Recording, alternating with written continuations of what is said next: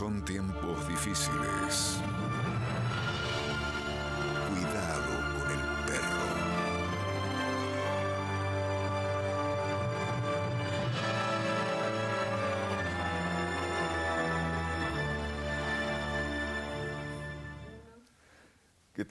Buenas noches. Cuidado con el perro, la interpretación de los sueños de Sigmund Freud.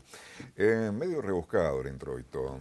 ¿Puede derivar un determinado sueño en el nombre de un grupo, de una banda musical? Quizás nos enteremos de eso, si es así o si no es así, esta noche a través de nuestro programa. Eh, vamos a darnos la oportunidad también de escuchar música en el último tramo de nuestro encuentro de hoy. Este entre al Bobby, cuidado con el perro de hoy para presentar a Esteban Pérez. Esteban, ¿cómo estás? Muy bien, Fito. ¿Tomás Un vino? gusto. Tomo, tomo. Eh, o, mire, primero que no es de utilería, segundo que si no te vamos a obligar. Porque Pero no, por favor. Quizás pienses que por estar en televisión tenemos que tomar. Bueno, salud. eh. Salud. Buena charla. Eh, ¿Dónde empezaste a, a tocar eh, un instrumento y cuál y cómo? Bien. Y la guitarra. La guitarra primero que andaba dando vuelta por la casa. Una guitarra de, de la adolescencia de mis padres, de mi madre. Y, y bueno, luego al terminar ya sobre los últimos años de primario, esas, esas amistades que, que se van haciendo, eh, es, gracioso realmente cómo, cómo surge de mm, un amigo que quería armar una banda, tenía su guitarra, convoca, nos convoca a dos más y a partir de ese momento formamos la banda, pero no teníamos los instrumentos. Eh, creo que ahí es donde, donde arranca un poco la, la cosa. ¿Y qué tocabas en la, haciendo bien desordenada la conversación? ¿Qué tocabas en la adolescencia? Porque hay una cuestión generacional. eh, no sé, se me viene y rasguña las piedras, hay un folclore del imaginario colectivo argentino, pero Sí. por generación. eh, ¿Qué tocabas? Sí, seguro. Las canciones, a ver, de, de- de Charlie, de Fito, eh, Lito Nevia, eh, era como lo que, lo que andaba dando vueltas por ahí para nosotros. Si bien la música también de ese momento ya estaba un poco más eh, avanzada, digamos, no, no, no era justamente... eh, esa, la música no era la de ese momento, sino que nos había llegado y bueno, no- nos, nos gustaba por ma- hermanos mayores, por amigos un poco más grandes y, y a quién no, digamos, a quién no le... Esas canciones, digamos, nos, nos han tocado a todos. ¿Y cuándo descubriste o pensaste, bueno, voy a ser músico? Eh, y creo que en, en realidad no, no, nunca tuve la certeza. Fue como que se fue dando y se fue consolidando a poco la cosa. Eh, estas experiencias, digamos, que en un momento por ahí fueron así como anecdóticas y graciosas de tener una banda sin instrumentos. Ya después, bueno, con el préstamo de instrumentos de otros amigos, eh, ahí como que empezamos a practicar y, y ya nos juntamos con otro, con otro, y cada vez como que el grupo, digamos, de amistades se fue a- ampliando y se fue copando justamente con, más chicos de la misma edad o más grandes o más chicos, pero que todos teníamos como una atracción por la música. Mientras seguíamos el, el secundario, digamos, cada uno con sus actividades, con, con sus tareas y, y las cuestiones del colegio. Y creo que fue mm, hacia los 15, 16, por ahí, que como que tuve una sensación un poco más fuerte y empecé a estudiar de manera autodidacta con, con libros que me prestaban, que me llegaban o, algo. Todavía no teníamos la conexión a internet fluida, digamos, como hoy. Entonces algún libro o algún material que nos pasaban, todo nos servía. Como para aprender un poquito, digamos, de, de lo que era más que nada la teoría o eso. Como buscando, bueno, de, de poder ampliar lo que, lo que hacíamos en el garage de la casa. Y, y bueno, justamente fue ya cuando estaba en el último año de secundario que, que, que dije, ¿y ahora? Que es como, bueno, que no, no, no significa que tenga que pasar algo. Muchos directamente deciden, no, yo por ahí no, no voy a seguir estudiando. Pero bueno, en mi caso era como que me hacía ruido el hecho de, de esa, si se quiere, esa necesidad por ahí de, de estudiar algo. Y así fue donde eh, me traslado a, la, ciudad, a Capital, para entrar a la, escuela de música de, ¿De, dónde? la UNS. ¿De dónde Desde San Rafael. Ah, de San, Rafael. Así que, bueno, y ahí en, ese, digamos, en ese viaje nos, eh, nos vinimos justamente cuatro de esos amigos que habíamos iniciado en, la preadolescencia y que luego habíamos entrado al secundario juntos, eh, decidimos venirnos para acá. Eh, así que fue nada, realmente una experiencia muy, muy bonita. Bien, ¿a estudiar concretamente? Con trabajo, la licenciatura en contrabajo en, en, la UNC. ¿La terminaste? Estoy ahí preparando el examen final, así que... ¿Cuántos años? Eh, cinco años es la carrera. Cinco años. Sí. ¿Y por qué? En, realidad estoy vacilando porque estoy tildado con este asunto de la banda sin, sin instrumentos. Realmente hay mucho humor ahí. Me imagino un ensayo, ensayaban sin instrumento con, con, No, era, era gracioso porque, bueno, en realidad era como... Eh, era muy bonito porque era fantasear, más que nada, era como jugar queríamos realmente tener la banda. Y el único que tenía instrumento era el guitarrista. Y los otros dos no teníamos. Entonces, bueno, era ver eh, quién podía darnos alguna información sobre cómo tocar el bajo o cómo tocar la batería. De todas maneras, en esa banda, si hubiésemos avanzado, eh, a mí me tocaba la batería. Yo no, no iba en el bajo, digamos. Entonces, bueno, como que estaba el, había una, limitación económica, digamos, que no era un instrumento económico, y bueno, no se pudo. Entonces, nada, quedó. Pero como que el ruido que se generó en ese, en ese momento, obviamente eh, trajo algo luego.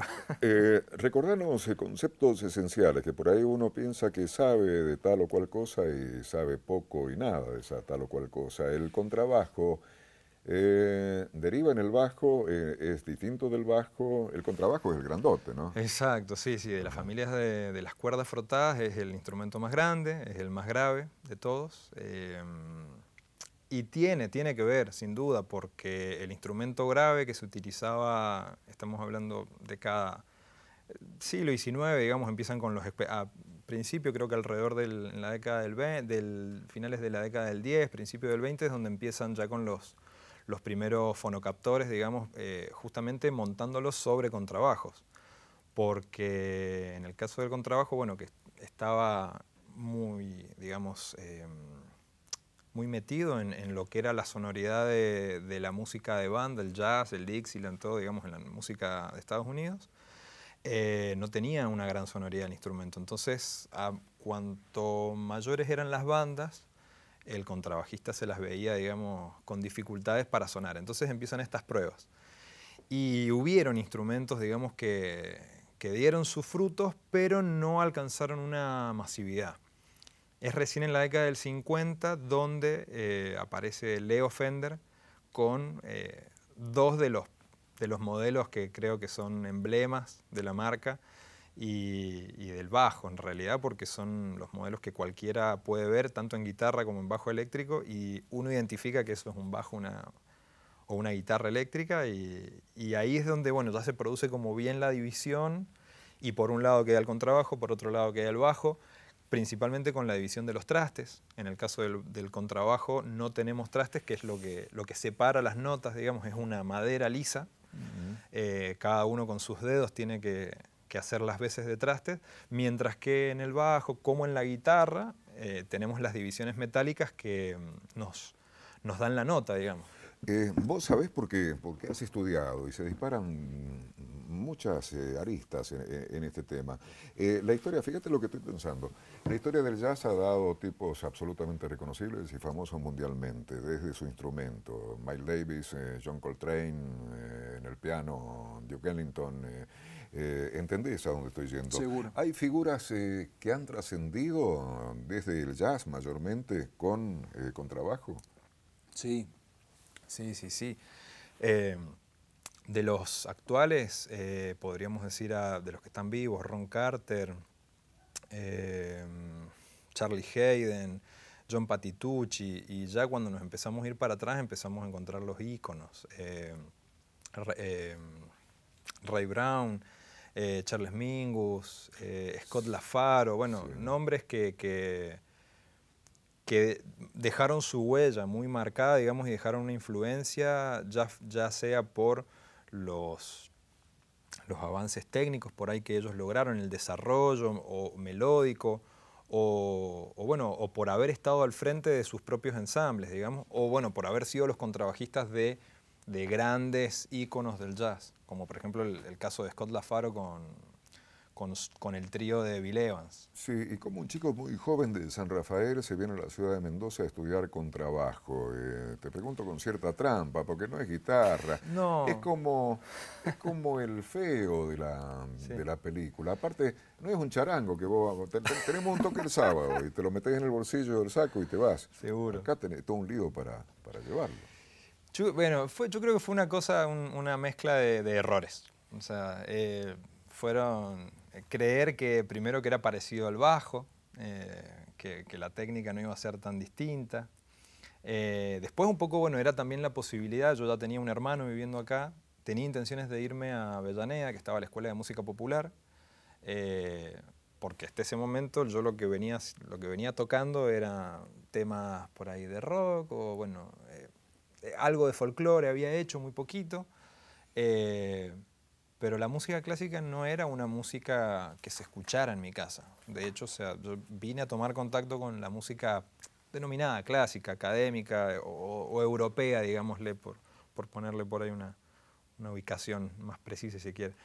Eh, de grande, o sea, no, no, más que las, las músicas por ahí que suelen sonar eh, más a menudo, como, no sé, la novena de Beethoven, o la quinta, o la cuarenta de Mozart, cosas así.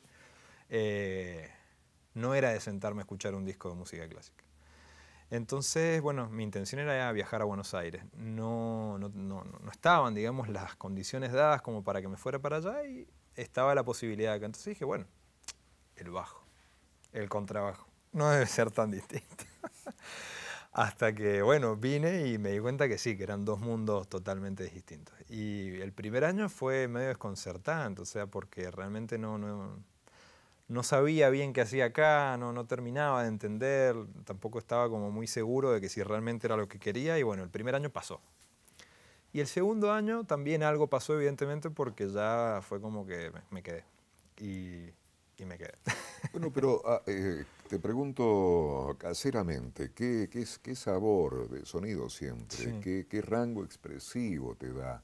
¿Cómo comulgás con lo que te brinda eh, el, propio instrumento desde tu búsqueda y desde vos mismo? Es. Eh, con cualquier instrumento creo que pasa. Eh, imagino que debe pasar lo mismo, digamos, que es como. Hay que tener una cierta conexión, un cierto vínculo casi diario, te diría. poder charlar con, con los instrumentos con el instrumento que cada uno decide tocar, para, para ir afianzando justamente ese vínculo. A mí lo que me pasa con el contrabajo, eh, primero que te da la posibilidad de tocar con dos técnicas diferentes, que son justamente la del arco y, la de los dedos, pizzicato que se llama. Eh, se puede, digamos, eh, ser súper amable, eh, se puede ser más agresivo. Ya al sonar grave, tiene una función determinada. Los graves, digamos, en la música siempre son el sustento de, la armonía, de la melodía, junto con el ritmo. Entonces, es como también te, posiciona dentro de la música y de los grupos en los que toques en un lugar, que sería como ir al arco, digamos, ¿bien? Eh, y muchas veces ese, ese, lugar, ese rol, es como no tenido en cuenta, o, tenido en cuenta menos que otros lugares. Y el tema está que cuando ves que eso es lo que da profundidad, es como que te agrega la tercera dimensión, digamos, de las cosas, toma otro sabor. Entonces ahí es donde yo por lo menos me siento cómodo, me siento a gusto. Eh, y esa cosa justamente también de que es lo que la gente por ahí percibe menos, eh, yo por lo menos siento que me acompaña por ahí en mi, en mi forma de ser. O sea, Qué bueno eso, sí, sí, sí.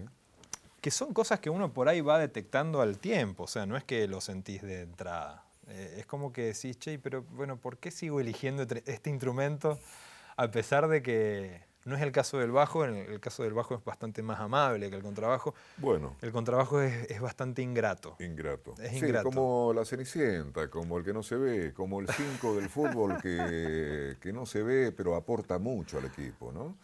Eh, ¿Te quedás? Sí, me quedo, ha venido al programa y todo el invitado esencial, te tenés que quedar. Esteban Pérez esta noche con nosotros, cuidado con el perro. Ya venimos, charlamos otro rato más y después escuchamos a, a Don Giovanni. Escucharemos a Don Giovanni. あ。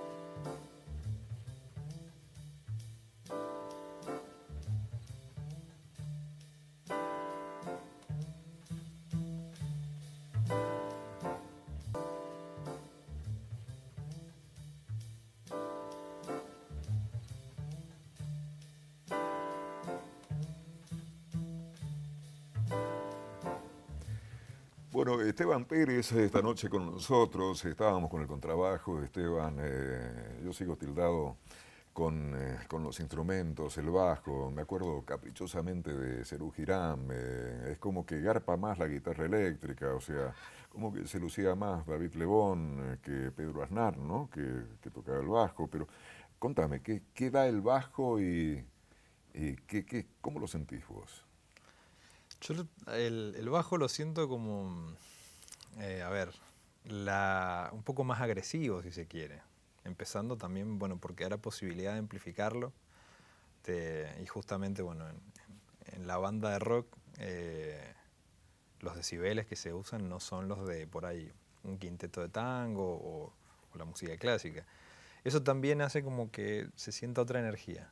Eh, creo que va, por ahí. Además de que, bueno, las características constructivas del bajo dan una sonoridad parecida, pero hay un montón, un sinfín de técnicas que se pueden hacer en el bajo que en el contrabajo son más complejas, digamos, por ahí. No son tan, tan comunes de encontrar como, por ejemplo, lo que es la técnica del slap, eh, o taping, o, bueno, armónicos, ese tipo de cosas. Bien. Eh, pregunta muy, muy pava, pero te la hago adrede. ¿La formación académica te da una yapa muy considerable para mandarte al rock, por ejemplo? Yo creo que no. Yo creo que no. creo que son ámbitos distintos eh, en donde tenés que aprender, digamos, los códigos del lenguaje, así como la música clásica tiene su, su enseñanza sistematizada eh, y bueno, toda digamos, la pila de música escrita, hermosa música. Eh, el rock tiene lo suyo y como cada música, digamos. Entonces, eh, no, yo por lo menos no comparto esa valoración positiva por algo, o si se quiere, bueno, o negativa o, no sé si negativa o positiva, pero sí como de poner que algo está por encima de... Sin duda que justamente esto, digamos, de la teorización que, se dio dentro de la música europea es muy útil, es muy útil, pero creo que no son más que herramientas. Yo por lo menos lo entiendo así. Eh, y a la hora de, bueno, de tocar es como que uno tiene que estar, eh, intentar estar conectado con eso. Es como que no, no, no tiene, yo por lo menos no le veo sentido justamente a esto de estar mirando a lo otro para hacer esto. Se da en otros planos, en otros aspectos, pero bueno, hablando puntualmente de, la música, digamos, pero no porque no que esta cuestión técnica me puede servir acá, no. Don Giovanni, ¿qué es Don Giovanni? ¿Por qué Don Giovanni? Giovanni? Bien, bueno, son ahí varias preguntas. Don Giovanni es una banda eh, de rock. Bueno, nosotros creemos que hacemos rock. Ese es nuestro, nuestro deseo. Eh, es la, música que, nos unió, justamente nos unió en los pasillos de la facultad, en los pasillos ahí mientras estudiábamos música clásica. Eh, nos conocimos ahí, excepto bueno, con Franco. La formación es de guitarra, bajo eléctrico, batería, eh, teclados y, voz. Y los nombres, que si no, cuando vean el programa... Exacto, bueno, en el caso del, Nombrame, nombrame, Marcel, eh, perdón, Guille Reynoso está en las voces, eh, en la voz y en la guitarra acústica. Eh, Marcelo Reynoso en los teclados y en los coros, Marcos Arias en guitarra eléctrica y coros también, eh, Franco Prosper en batería y yo en el bajo. Eh, bueno, nada, nos conocimos en la facultad, te decía que justamente con Franco nos conocimos en San Rafael. Franco es uno de estos cuatro que nos vinimos para acá a estudiar y con los que empezamos desde, no sé si decirte 12, 13 años por ahí a hacer ruido juntos. y, bueno, se entabló una amistad realmente muy bonita. Bueno, nos vinimos para acá y cuando surgió esta, esta idea de armar una, banda, obviamente, bueno, uno recurre generalmente a los conocidos, a los amigos, Y, y, ahí, bueno, lo primero que pasó fue que se entabló una nueva amistad con, con los otros tres y luego empezamos a, digamos, se dio de forma paralela, pero fue inevitable la conexión humana, justamente. O sea, entonces hoy por hoy te puedo decir que Don Giovanni es eh, un grupo de música, un grupo de amigos, un grupo de estudio. Para mí fue mi primera escuela, te podría decir, antes que la misma escuela de música, porque ahí se daba, digamos, la, la acción. Uno, en la escuela uno va y recibe ahí ejecutábamos. Entonces lo que uno podía tomar, ya fuese de la misma escuela o de otro lado, o de un video, o de internet, o de un disco, o de una revista, era como el laboratorio. Ese fue para mí mi primer, si se quiere, eh, justamente el, primer proyecto serio. Eh, y bueno, tiene un gran lugar en mi corazón. ¿Por qué, don Giovanni? ¿Por qué Alguien me tiró letra, no es que sepa tanto. Sí, sí, seguro. A ver, viene que miro con vos hoy. Tiene, tiene que ver, digamos, esto de que, bueno, estábamos dentro de la facultad, una tarde, estaba la idea de ponerle un nombre en, en relación a algún personaje. Bien, entonces, como estaba, por ejemplo, Patricio Rey y sus redonditos de ricota, esa idea nos gustaba. Así como, por otro lado, teníamos a la Versuit Bergarabat, bien, con un nombre por, un poco más extraño, pero que no sea alusión a algo, o Cerugirano, Sui Generis, cosas así. Nos, nos decantamos por esa idea. Y estudiando Historia 2 estaba Marcelo con Marcos y bueno, les surgió justamente el tema de, de Don Giovanni por la ópera de Mozart. Nos pareció simpático y quedó, sin mucho cuestionamiento. Es como que en ese momento estábamos más preocupados por cómo tenía que sonar la música que hiciéramos, más que por el nombre.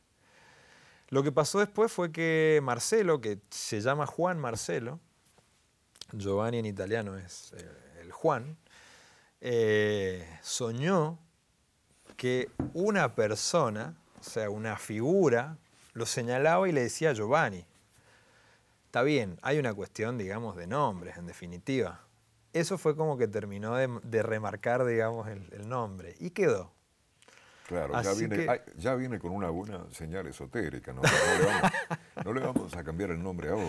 Así que bueno, eh, esto fue hace 10 años atrás.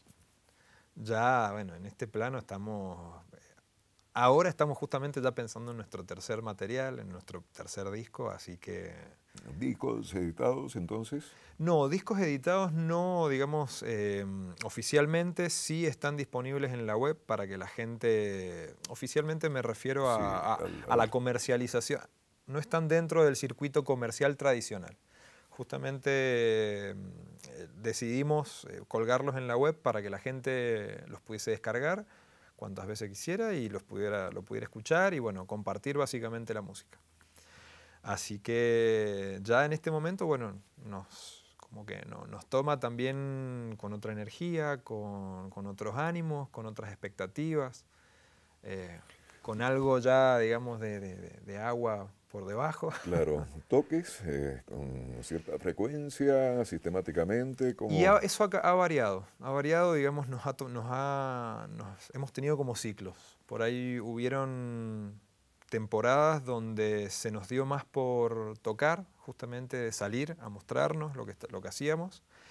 Y, otros momentos, como este, por ejemplo, que nos agarra más adentro de la sala de ensayo eh, y preparando el disco.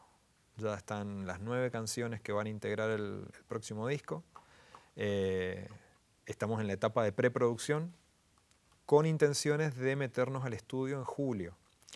Así que es como que, bueno, nada, cuando eh, empezás con el disco es como que tenés que administrar las energías. Y en este momento, sin duda, que lo que, lo que amerita poner todo, digamos, en la misma dirección es el disco. ¿Y las canciones de quién? Bien, las canciones están compuestas casi en su totalidad por eh, Marcelo. Eh, el último disco sí está compuesto en su totalidad por Marcelo, tanto letra y música. Eh, realmente, bueno, hay un cierto grado de subjetividad en esto, pero eh, son muy lindas. Realmente Marcelo es, eh, es increíble cómo compone. Marcelo, eh, Marcelo Tecladista, Marcelo Reynoso. Así que, bueno, un poco surgió en el, en el, momento, digamos, que arrancó la banda, bueno, alguien tenía que aportar las canciones, él tenía un puñado de, de músicas, las compartió, quedaron y un poco como, bueno, de ahí se empezó a configurar la metodología de trabajo en esa dirección. Y la pregunta lugar común, ¿qué impronta respecto de la poética? ¿De qué hablan esas canciones? ¿Hay temas recurrentes? Y sí, en el último disco está, está como latente el tema por ahí de, del niño en, diferentes planos, digamos, en el plano eh, exterior, si se quiere, el, el niño como niño, y en el plano interior, bueno, con, esa inocencia que uno pueda llevar las cosas, o, la vida misma, digamos, con, esa simpleza, eh, la, diversión, el juego. Eh, hay, hay, como un poco de todo, pero eh, sí pensando, digamos, en cosas simples, sencillas. Pregunta esquemática, ¿no tiene mucho que ver eso con que vienen de San Rafael, mayormente? Muy esquemático, como te lo estoy preguntando. no, mira, mira que eh, Marcelo, Marcelo es, eh, junto con Guillermo, son hermanos. Ellos son de San Juan y solo con Franco somos de San Rafael. Eh, bueno, de paso, Marcos es de, de Chubut, de Comodoro Rivadavia. Mm, no sabría decirte.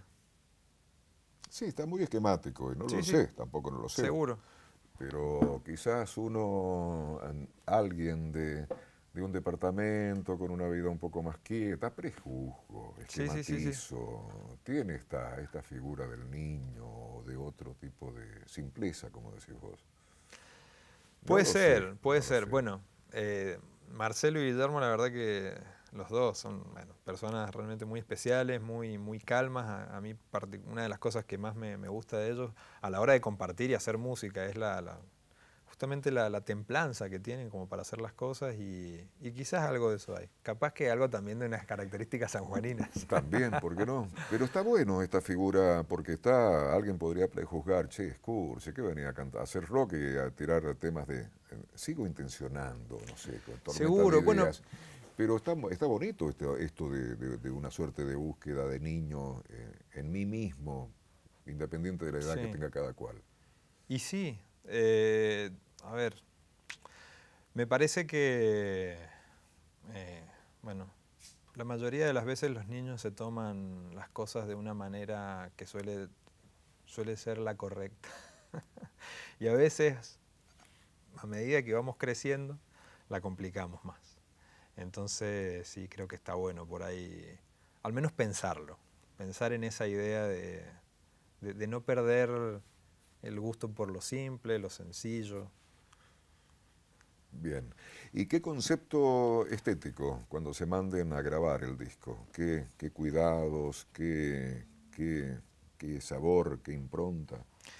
Y bueno, ahora justamente estamos trabajando en ello, eh, porque ya las canciones estaban puestas en el ensayo, cada uno sabía qué tocar, bueno, las grabamos, armamos las maquetas y ahora se abre una paleta de colores enorme.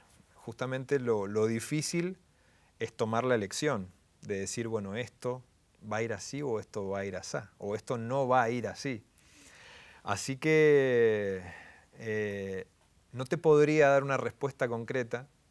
Eh, además por otra cosa que es la, la, forma de trabajo que tenemos. Que si bien las canciones son de Marcelo, eh, la producción de la música está a cargo de los cinco. Y mm, eso también, bueno, estuvo realmente...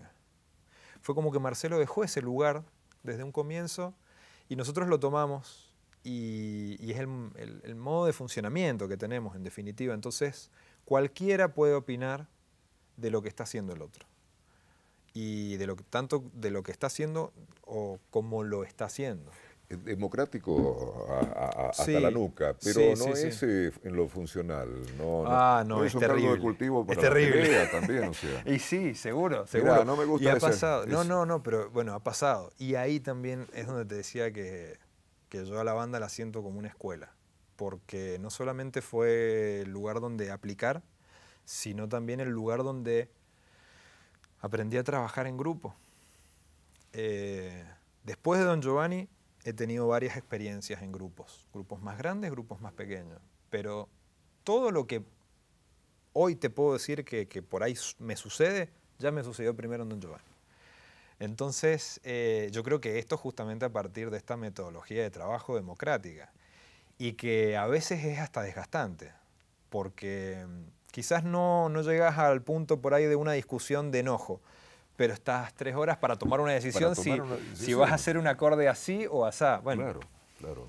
Pero tiene también otro sabor, digamos, tiene otro, otro sabor de, de, darle la posibilidad a, digamos, a una canción de, sonar de diferentes maneras, considerándolas a todas valiosas, o sea, a todas válidas, y dándole un tiempo de que decante.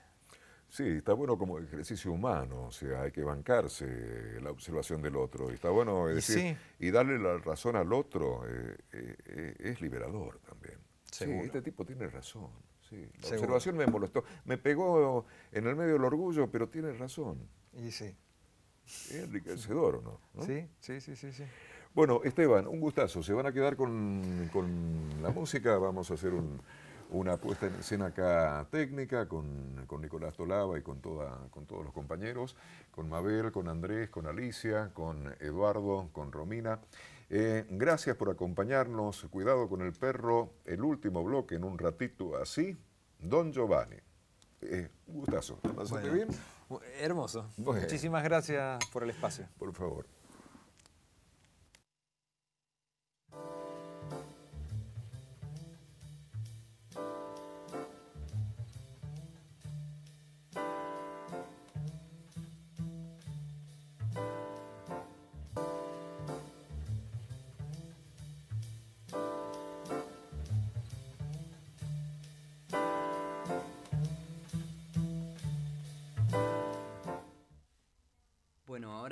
Con Nada, un tema de Don Giovanni. Arrancamos.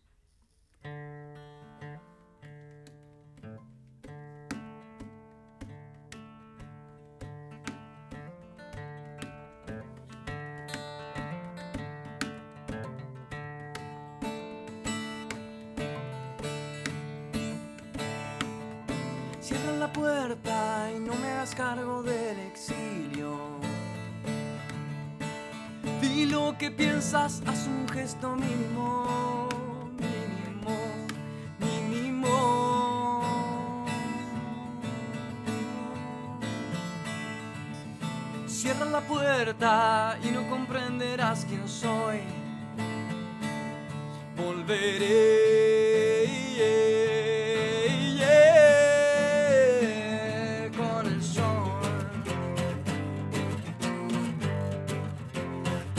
pasado mañana.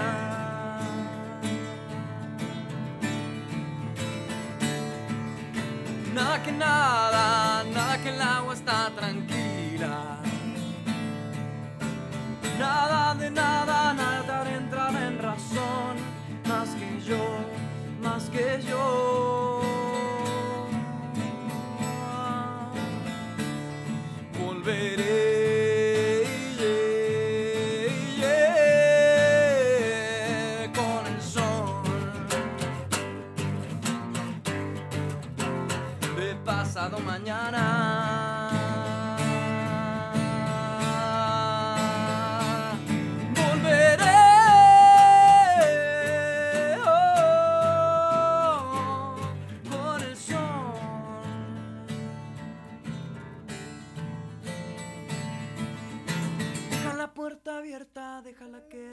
Que refresca, déjala descubierta, déjala para que entre el sol.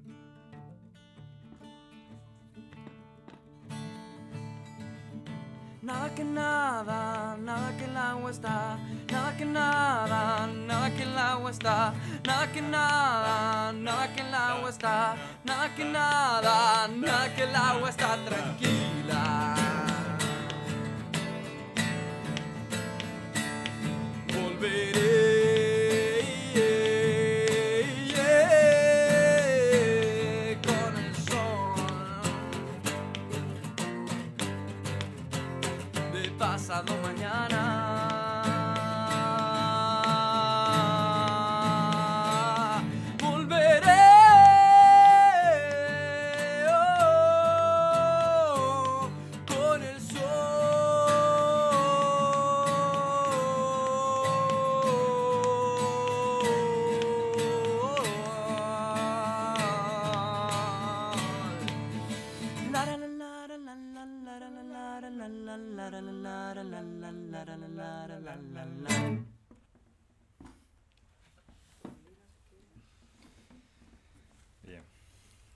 Sí, ya para despedirnos, eh, nos vamos con Melodía Andante.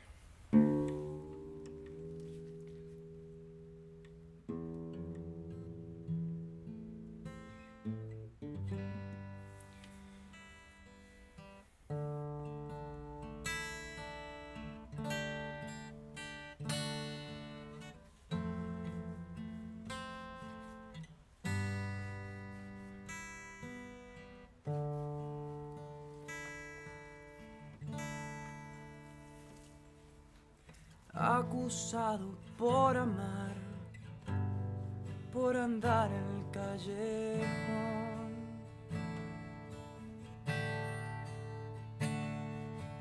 ¿Qué abogado entenderá mi delirio y devoción?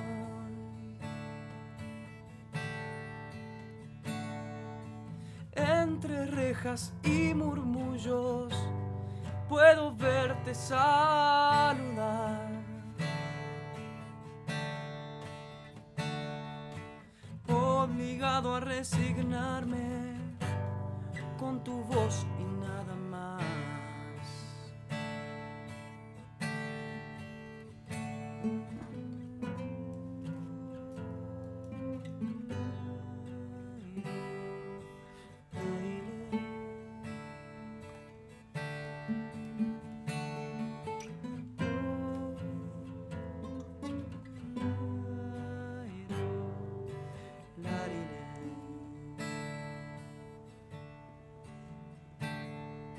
Soy culpable de enterrar a quien no ha muerto aún.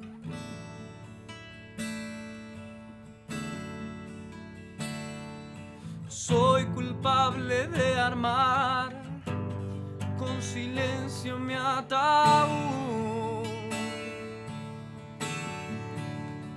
En el juicio del querer he perdido la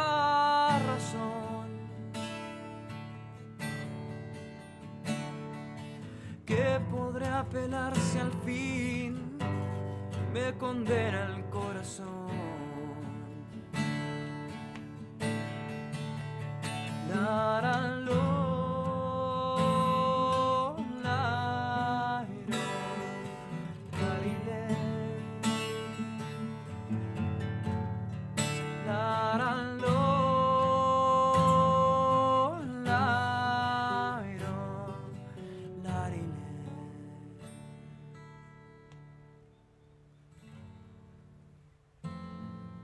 Escuchas sin saber que me muero por tocar.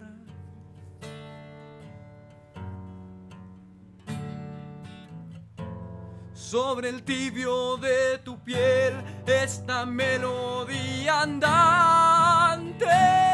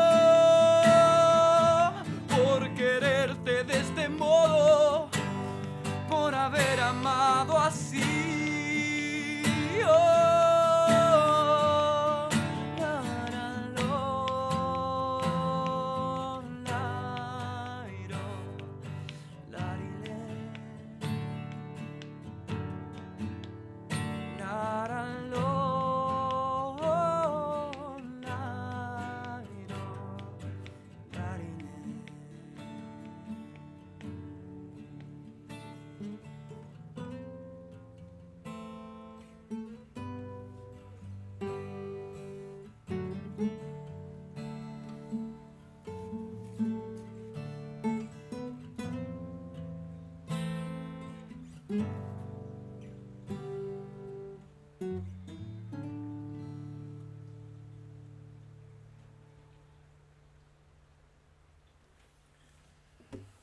muchas gracias. Muchísimas gracias. Buenas noches.